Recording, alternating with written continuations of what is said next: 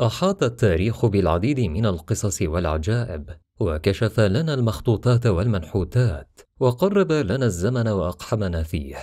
لكن يبقى العالم لغزا محيرا حتى التاريخ نفسه سيبقى عاجزا عن الإجابة. هناك الكثير من السراديب التي لن تفتح وقد تظل مغلقة إلى الأبد. دفن أسلافنا العديد من الأسرار تاركين لنا تخمين ما كانوا يقصدونه بعاداتهم وطقوسهم وأعمالهم المعمارية بعد مرور كل هذه السنين. في هذه الحلقة سنكتشف معا 12 من أكثر الاكتشافات غموضا يزعم أن لها أصولا خارقة للطبيعة أو من خارج كوكب الأرض. بعضها كان مدفونا تحت الأرض بينما يختبئ البعض الآخر على مرأى العين. الحجر الأسود. يجيب المسلمون الملتزمون نداء الصلاة خمس مرات في اليوم منذ أن بعث نبينا رسولا صلى الله عليه وسلم إلى يومنا هذا. لكن للكعبة العديد من القصص المرتبطة بها والجزء الأهم والأكثر غموضا ومثيرا للتساؤل الحجر الأسود. يقع الحجر الأسود في الركن الشرقي للكعبة المشرفة ويعتقد أنه تم بناء الكعبة قبل حوالي أربعة ألاف عام. ويحافظ على شكلها إلى يومنا هذا. نؤمن نحن المسلمون بأن النبي إبراهيم عليه السلام هو من بنى المسجد. لكن العديد من العلماء يعتقدون أنه كان يستخدم من قبل الوثنيين قبل وجود الإسلام كديانة. كثرت الأقاويل والروايات عن الحجر الأسود وقد قيل عن لونه المميز يرجع علاوة لامتصاص ذنوب آدم عند خروجه من الجنة. كما يقال أيضا يرجع تقبيل المسلمين له سنة عن نبينا محمد صلى الله عليه وسلم. فقد سبق وأن قبله وربما تكون تلك القبلات واللمسات هي التي جعلته اسودا. لكن سيبقى الحجر اسودا سرا للحفاظ على قدسيته. والله تعالى أعلى وأعلم. صخرة روزويل الغريبة. العديد منكم قد يكون على دراية بحادثة روزويل للأطباق الطائرة التي تم الإبلاغ عنها بتحطم مركبة فضائية في عام 1947 قبل أن تغير السلطات الأمريكية روايتها في اليوم التالي وأعلنوا أنه في الواقع كان بالونا هوائيا أمريكيا قد تحطم. يعتقد معظم الناس الآن أن حادثة روزويل كانت خدعة لكن تم اكتشاف صخرة روزويل في عام 2004 على بعد 25 ميلا من موقع التحطم مما جعل البعض يعيد التفكير في الأمر. تمتاز هذه الصخرة الغريبة بخصائص مغناطيسية غريبة، حيث إذا وضعت مغناطيسيا فوق الجزء الأثخن منها فإنه يدور باتجاه معين، وإذا تم وضعه فوق النهاية الأرفع فإنه يدور في الاتجاه المعاكس. على سطح الصخرة يوجد رمز الهلال المزدوج الذي يشبه الرموز التي تمت رؤيتها في مواقع العديد من الدوائر الزراعية عبر أمريكا وأوروبا. وعند فحص القطعة تحت المجهر لا تظهر أي علامات تدل على استخدام أدوات لصنعها، وإذا كانت هذه الصخرة مزيفة فهي مزيفة ببراعة. أرض العمالقة سيحاول العلماء إقناعك بعدم وجود أي دليل على أن العمالقة قد وجدوا على الأرض، إلا أن هناك العديد من المنشآت على الأرض التي يبدو أنها بنيت من قبل العمالقة ولصالحهم، ولن يكون لها هدف يذكر للبشر العاديين. ألقي نظرة على المستوطنات والكهوف في رومانيا التي تغطي مساحة تقارب الميلين مربعين والتي تعرف محليا باسم أرض العمالقة. هذه الكهوف محفورة مباشرة في الصخور ويقال أنها تعود إلى العصر الحديدي. استخدمها المسيحيون الأوائل كمعابد حتى القرن التاسع عشر لكن لا يبدو أن لديهم الإمكانيات لإنشائها. أهرامات صونا وبرازو. هناك أيضا مسألة الأهرام في مقاطعة سونا وبرازو التي يقول المؤرخون إنها قبور لملوك بربريين ولكن لماذا بنى البربريون تلالا يبلغ ارتفاعها مئة قدم؟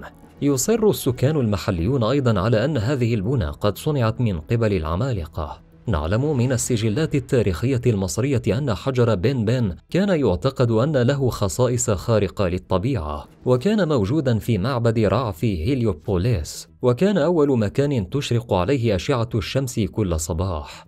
الحجر الأصلي مفقود الآن لكنه أثر على تصميم عدة تماثيل ومنحوتات لا تزال قائمة في مصر حتى اليوم.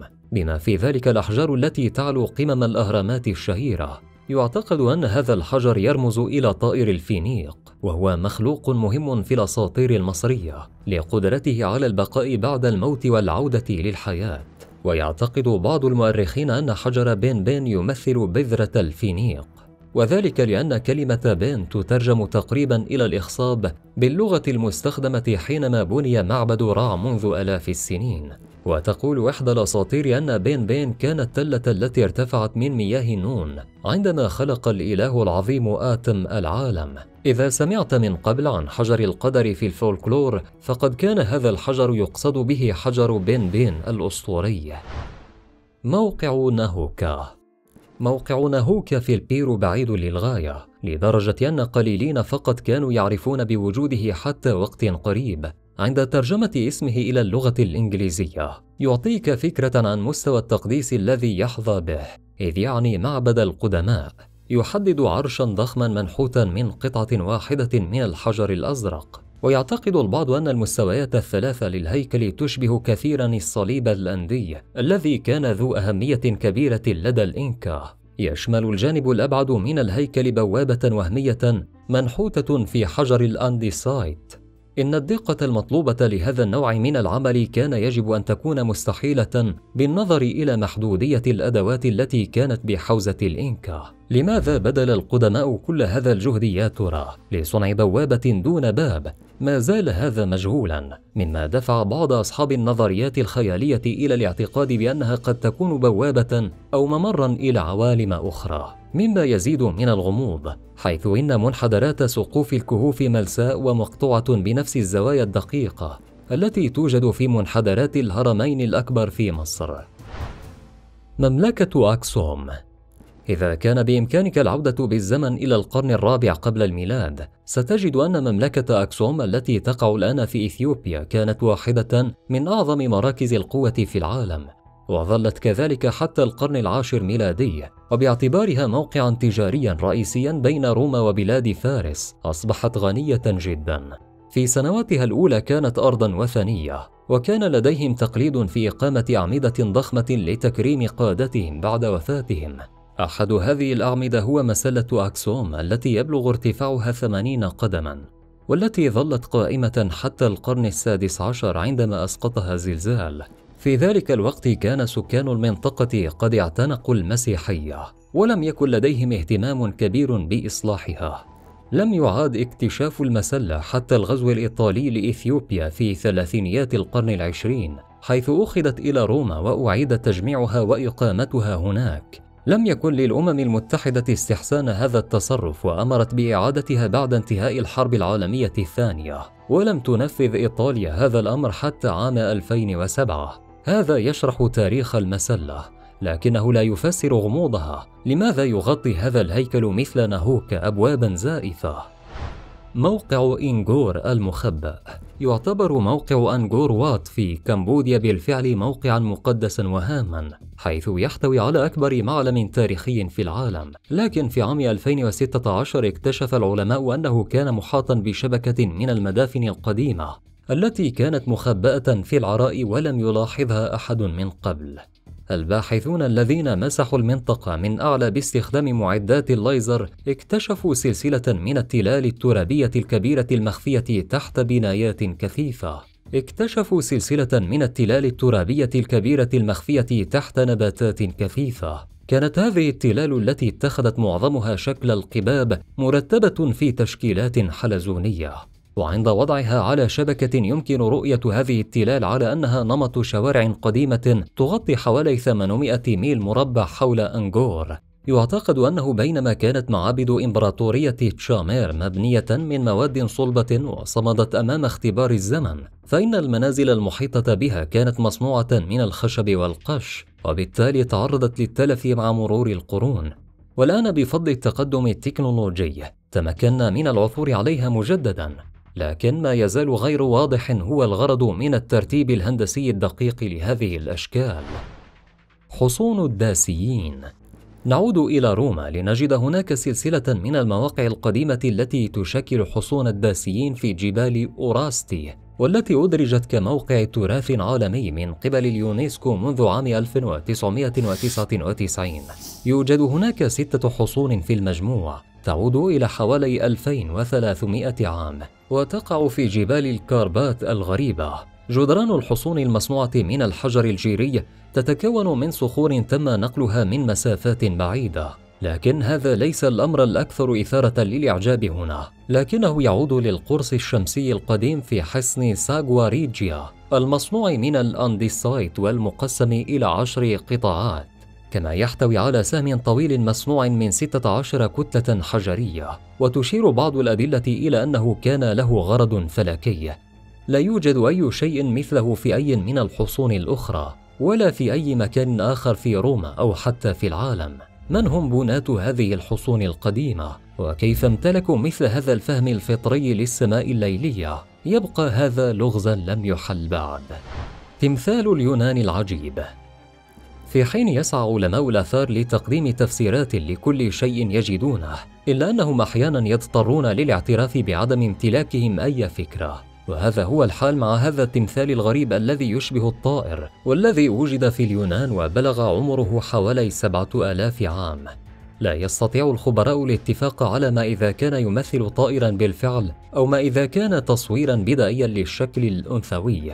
ولأنه فريد من نوعه لا توجد طريقة لمعرفة من كان المسؤول عن صنعه. رغم أن الحضارات التي عاشت في مقدونيا وتيساليا في ذلك الوقت تعتبر مرشحة. يبلغ طول التمثال 14 بوصة ويعود إلى العصر الحجري الحديث المتأخر وقد نحت من الجرانيت الصلب وهو ما يميزه عن معظم القطع الأخرى من العصر الحجري الحديث. كانت التماثيل في العصر الحجري الحديث تصنع عادة من الحجر الطري لكن هذا التمثال من الجرانيت والصعوبة تكمن في عملية النحت حيث يتطلب عادة أدوات فولاذية والتي لم تكن بحوزتهم في تلك الحقبة التاريخية. مما يثير التساؤل حول كيفية صنع هذا التمثال العجيب أصلا. أحجار هيدان القديمة. لدينا شيء آخر لإخباركم به. لكن قبل ذلك لا تنسوا تسجيل إعجابكم بالحلقة والاشتراك في القناة لمتابعة كل جديد. فيما مضى ذكرنا احتمال وجود عمالقة على الأرض. وإن صحت هذه النظرية فقد تفسر وجود موقع هيدان في هولندا حيث ستجد التكوينات الحجرية القديمة في مقاطعة درينثي والتي تقف هناك لأكثر من خمسة ألاف عام نسبت رسميا إلى عمل القبائل والبرابرة. ولكن لم يتم توضيح كيفية تمكن هؤلاء الناس غير المتحضرين من نقل أحجار وزنها أربعين طنا ووضعها في هذه المواقع. هذه الآثار هي أقدم المعالم التي وجدت في أي مكان في هولندا مما دفع البعض لتسميتها بستون هينج هولندا. وهو وصف مناسب نظرا لأن الموقع البريطاني بني في نفس الفترة تقريبا. يبدو أن شعب الفونيل بيكر دفنوا موتاهم هنا وكان لابد من نقل هذه الصخور الضخمة إلى درينثي خلال العصر الجليدي. لكن نقلها لمسافات طويلة يتعارض مع كل ما نعرفه عن شعب الفونيل بيكر. لذا فإن المهندسين الحقيقيين يظلون مجهولين. أحجار الشحذ.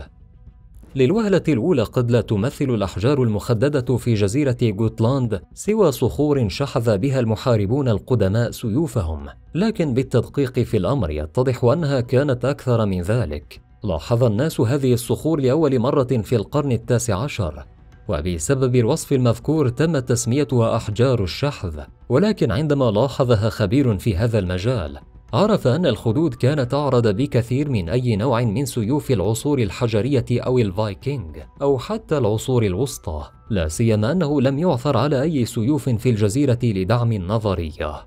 إحدى الأفكار البديلة تقول أن هذه الخدود كانت تستخدم لتتبع حركة الشمس والقمر، وبالتالي يمكن تفسيرها كنوع بدائي من التقويم حيث يمكن توجيه الخدود لمواجهة الأجرام السماوية ودائما ما تكون الخدود المقطوعة في التلال الصخرية متجهة نحو السماء. كبد بيانزا. من المحتمل أننا لن نفهم أبدا لماذا اختارت حضارة حكيمة كالحضارة الأترورية تدوين معرفتها عن القمر والشمس والنجوم على منحوتة لكبد خروف من البرونز. هذا هو كبد بيانزا.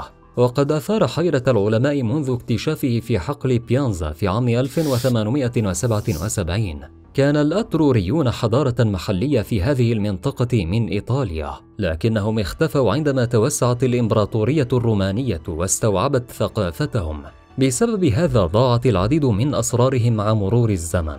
قبل الرومان كان الأتروريون يتحدثون لغتهم وكانت لهم معتقدات دينية خاصة واهتمام كبير بعلم التنجيم وكانوا يستخدمون أحشاء الحيوانات للتنبؤ بالمستقبل. ولكن يبقى السؤال لماذا تم رسم خريطة النجوم على الكبد؟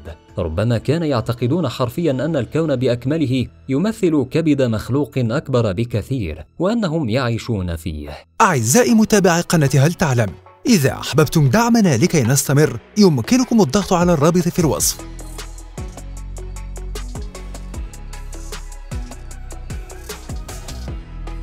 أو على يوتيوب ثانكس. إن أعجبكم موضوع اليوم من قناة هل تعلم فلا تبخلوا بالإعجاب والاشتراك. يمكنكم أيضا متابعة فيديوهاتنا السابقة. جميع الحقوق محفوظة لدى قناة هل تعلم.